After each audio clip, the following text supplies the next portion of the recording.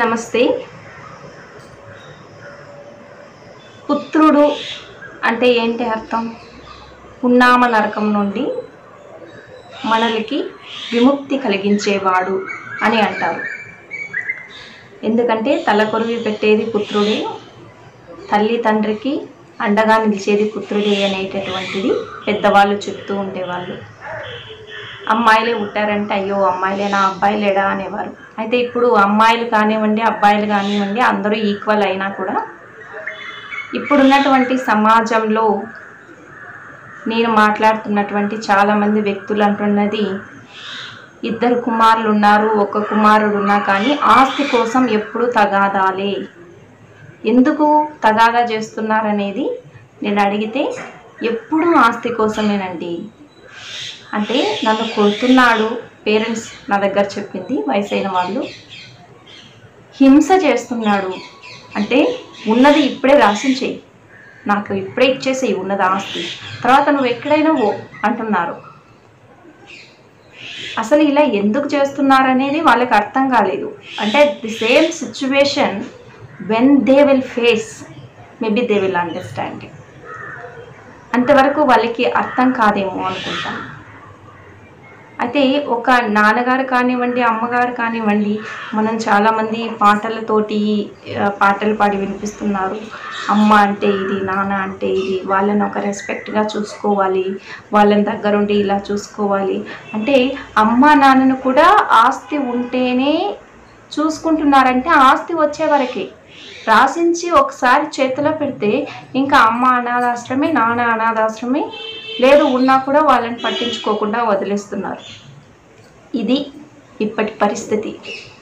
అయితే ఈ పరిస్థితిని ఎలాగ మనం మొత్తంగా తొలగించగలమంటే డెఫినెట్గా ఇప్పటికి కుదరదు.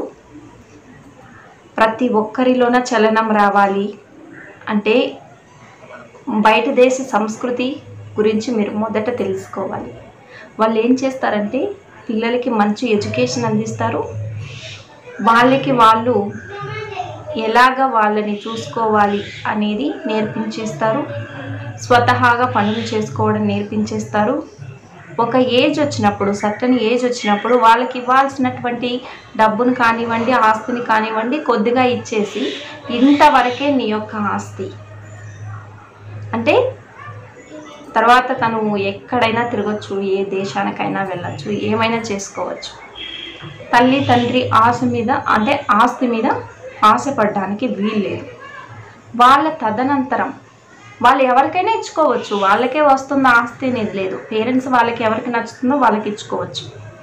అయితే మన ఇండియాలో ఎక్కువగా డిపెండెన్స్ అనేది ఉంది చూడండి. అంటే ఒక అబ్బాయి అంటే నన్ను చూసుకుంటాడు అమ్మాయి అయితే చూసుకోదు లేదు అమ్మాయి చూసుకుంటుంది. ఒక డిపెండెన్స్ తర్వాత ఎక్స్పెక్టేషన్స్ అనేవి పెట్టుకుంటూ ఉన్నారు. అయితే ఇలాగ పెట్టుకోవడం వల్లనే అందరికీ కూడా ప్రాబ్లం అనేది వస్తుంది మొత్తానికి. అక్కడ బయట దేశంలో చాలామంది నేను ఫారినర్స్ చూశాను. వాళ్ళకి ఫ్రీడమ్ అనేది ఇచ్చేసి తర్వాత వదిలేస్తారు వాళ్ళ ఇష్టం. వాళ్ళే కష్టపడాలి జాబ్కి వెళ్ళాలి వాళ్ళు ఎర్న్ చేసుకోవాలి తర్వాత ఫర్దర్గా చదువుకోవాలంటే వాళ్ళు ఎర్న్ చేసుకున్నటువంటి డబ్బుతోనే వాళ్ళు చదవాలి. పేరెంట్స్ మీద అస్సలు డిపెండ్ అనేది ఉండదు. వాళ్ళ దగ్గరకు వెళ్ళి అడిగినా కూడా వాళ్ళు ఇవ్వరు నీకు ఇవ్వాల్సింది ఇచ్చేసామని చెప్తారు. సో అలాగా పేరెంట్స్కి వాళ్ళకి కావాల్సినటువంటి డబ్బు ఏదైతే ఉందో వాళ్ళకు ఫర్దర్గా ఫ్యూచర్లో ఎంతవరకు వాళ్ళకి కావాలో మొత్తము వాళ్ళు కూడబెట్టుకొని వాళ్ళు చేర్చి పెట్టుకొని వాళ్ళు దాంతో జీవిస్తూ ఉంటారు. మళ్ళీ నాకు నా కొడుకు వస్తాడు నన్ను చూసుకుంటాడు నన్ను బాగా పెట్టుకుంటాడు అనేది ఎక్స్పెక్టేషన్ అనేది వాళ్ళకు లేదు. సో అలాంటి ఎక్స్పెక్టేషన్స్ లేనటువంటి ఒక సొసైటీని సొసైటీ అంటే ఎవరు? మీరు నేను అందరూ.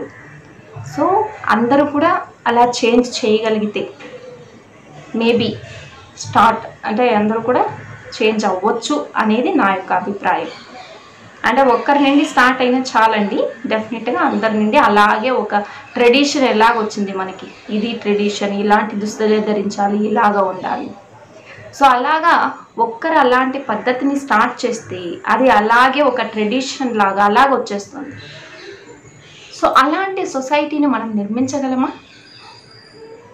అవును అనేవాళ్ళు కమెంట్లో పెట్టండి నో అనేవాళ్ళు కమెంట్లో పెట్టండి. సో ఎంతమంది దీనికి సపోర్ట్ చేస్తారో చూద్దాం. ఇలాంటి సొసైటీని మనం నిర్మించగలమా? తప్పకుండా సాధ్యమేనా? డెఫినెట్గా సాధ్యం.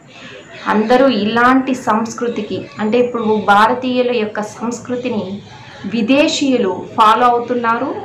చాలామంది టీవీలో కూడా చూస్తుంటారు వాళ్ళు మన యొక్క శారీస్ కట్టుకోవడం కానీ మన పూజలన్నీ కూడా తెలుసుకొని అవన్నీ కూడా చేస్తున్నారు. ప్రతి ఒక్క పూజను చేస్తున్నారు. హోమాలు హోమాలు చేస్తున్నారు. హరే రామ హరే కృష్ణ అంటే అంతా భజనలు చేస్తున్నారు. గుళ్ళ చుట్టూ మొత్తం గుడిలో చేయాల్సినటువంటి అభిషేకాలు కానీ సో పెళ్ళిళ్ళు కూడా మన ఇండియన్స్లో ఎలాగ భారతీయుల్లో ఎలా చేస్తారో అలాంటి పెళ్ళిళ్ళు ఇప్పుడు ఫారినర్స్ కూడా చేస్తున్నారు. సో ఇలాంటివన్నీ కూడా ఎన్నో వాళ్ళు చేయగలిగినప్పుడు అలాంటిది మనం ఎందుకు ఈ ఒక్క విషయంలో మారలేము?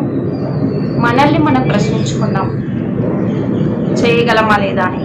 అంటే ఇప్పటికీ ఏజ్డ్ పీపుల్ ఉన్నటువంటి ఆ కంప్లైంట్స్ అన్నీ కూడా నేను కలెక్ట్ చేసి మీకు ఎందుకు చెప్తున్నానంటే at least from now we have to start to change our life so అలాంటి పద్ధతి అలాగా నా పిల్లాడికే ఆస్తి వస్తుంది నా పిల్లకే ఆస్తి వస్తుంది. వాళ్ళు ఒక్కొక్క రూపాయి తినకుండా అంతా చేర్చి పెడితే లాస్ట్గా ఆస్తిని రాయించుకొని బయట దో పో నువ్వు. ఎక్కడైనా ఉండు. తోసేస్తున్నారు. మరి మీకు రెస్పెక్ట్ ఎక్కడిది?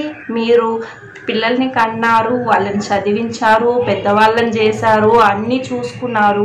మరి మీరు ఇంత చేసినప్పటికీ మీకు ఇలాంటి ఒక అవమానమైనటువంటి అంటే అవమానంగా తీసుకోకండి డెఫినెట్గా ఇలాంటి సిచ్యువేషన్ని మీరు ఫేస్ చేసినప్పుడు మీకు డెఫినెట్గా అనిపించి ఉంటుంది మేము తప్పు చేశాము. వీటిని ఇంత ప్రేమగా సాకి తప్పు చేశాము. ఇలాగ చేయడం వల్లే వీడు ఇలా తయారయ్యాడు.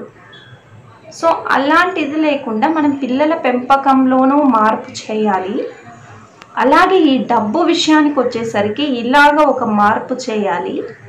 సో ఒక్కొక్క మార్పును మనము చేసుకుంటూ వస్తే సో డెఫినెట్గా మొత్తం సొసైటీ హోల్ సొసైటీ అనేది మనం చేంజ్ చేయగలము.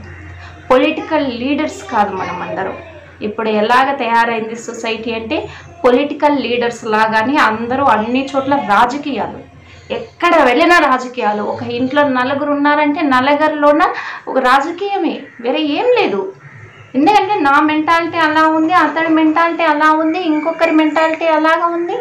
అతడు చేసే పద్ధతి నాకు నచ్చలేదు నేను చేసే పద్ధతి ఇంకొకరికి నచ్చలేదు. ఇది ఒక పొలిటికల్ లైఫ్ లాగా అందరికీ వెళ్ళిపోతుంది. అయితే ఈ పొలిటికల్ లైఫ్ని ఎవరు మార్చగలరు?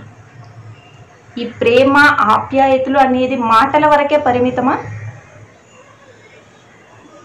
ఆలోచించండి. నేను అందరిలోన బీజాన్ని వేయాలనే ఒక పట్టుదలతోనే నేను ఈ ఛానల్ని స్టార్ట్ చేశాను. సో అయితే ప్రేమ అనేది మోసపూరితమా? అందాన్ని చూసి ఒక ఆకర్షణ చూసి ప్రేమించేది ఒక ప్రేమేనా?